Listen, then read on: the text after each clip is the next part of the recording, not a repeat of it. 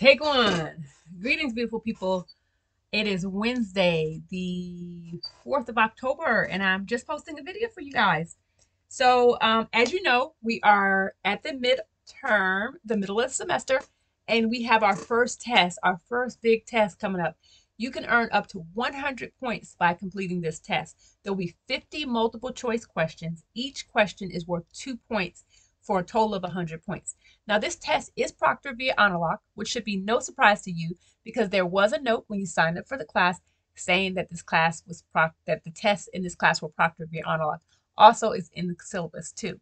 So, HonorLock is a Google Chrome extension. You need to have a camera and a microphone and you need to um, have a valid ID. Now, if you don't want to take the test using um, HonorLock, you can schedule an appointment with the testing center and take the test at the testing center. But um, if you want to do that, I suggest calling right away because their appointments go really fast. And, um, you know, they change some things around, and now usually you can't really just get a walk in at that testing center anymore. So, anyway, if you decide to take it via HonorLock, I've given you an HonorLock practice quiz so you can check it out and make sure everything is kosher, um, you know, before you take the actual test. But there is a $5 fee when you get ready to take the exam. The $5 per exam fee is issued via Honor Lock, or you can pay a one-time fee of $10 and that covers the entire semester, so unlimited tests. The reason why I think you might consider the $10 instead of the $5 per is because I offer a makeup test at the end. And sometimes students don't score as high as they would have liked the first time they take the test. And so when you take this makeup, I sub in that score if it's higher than the first one. Okay, so we have a midterm and a final. You're taking the midterm this week, and then the final is at the end of the term. But if you don't score what you want on this midterm, you can take the makeup, and that'll sub in for this test one. Now, you might be thinking, what chapters are on this test. If you watch the other videos, then you know. Um, if you've been paying along on and participating in the discussions, then there's no no new surprises. But you're going to have chapters one, two, three, six, and seven. So these topics are what is psychology and the science of psychology. So all about those modern approaches, the history of psychology, and then research methods, how psychologists ask and answer questions. You're going to have a series of questions about that. You're also going to have questions about the biological foundations of behavior. So you need to know the, the, the parts of a neuron. You need to know about neurotransmitters and different parts of the brain. Okay, that is going to be chapter two. The third chapter is human growth and development with or developmental psych. And these will be questions about prenatal development, early childhood, late adulthood, Erikson's theory, things like that. Okay. The other chapters are learning theory, which is chapter six, and chapter seven, which is memory. I will tell you that there'll be fewer questions about memory than there are about learning, development, the science of psych, and bio foundations because we spent most of our time talking about those first five chapters, and the sixth chapter we haven't had a lot of discussion on. So there'll be less questions from chapter seven on memory. Don't worry, we will talk about memory and we will revisit um, some information about memory for the remainder of the semester. But for now, be prepared by making a cheat sheet. That's right, I said it, a cheat sheet, an entire eight and a half by 11 sheet. It could be handwritten or it could be typed and it can be two-sided or two single, um, like one page, you know, so either one page two-sided or two single-sided pages.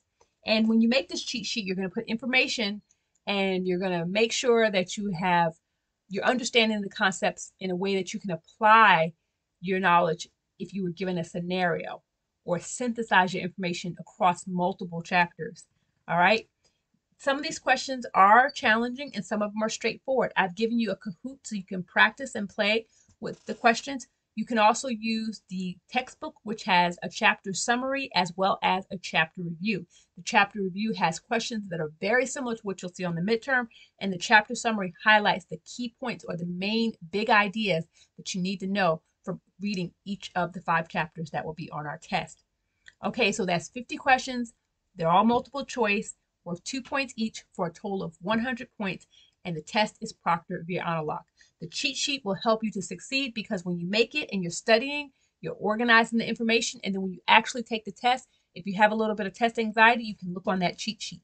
Now, even though the test is proctored via HonorLock, I leave a note so that they know you can use this cheat sheet when you're taking the test. Okay?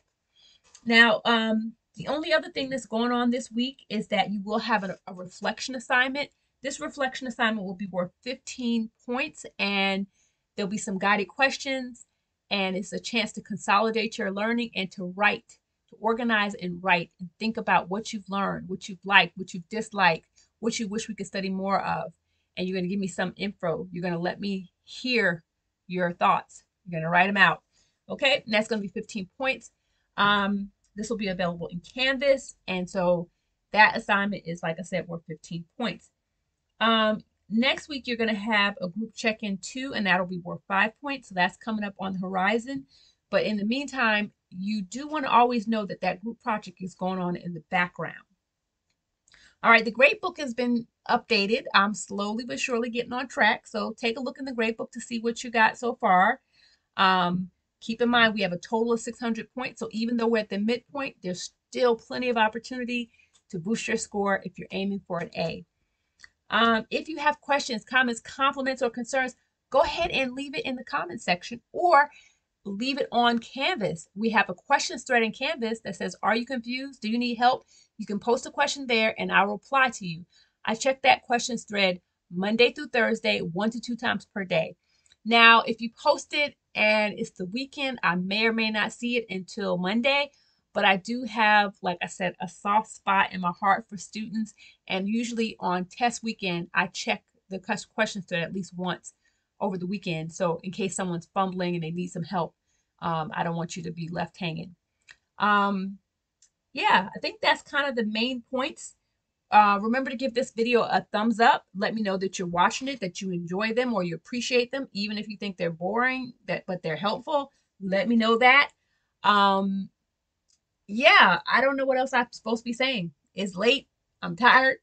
And have a good rest of the evening.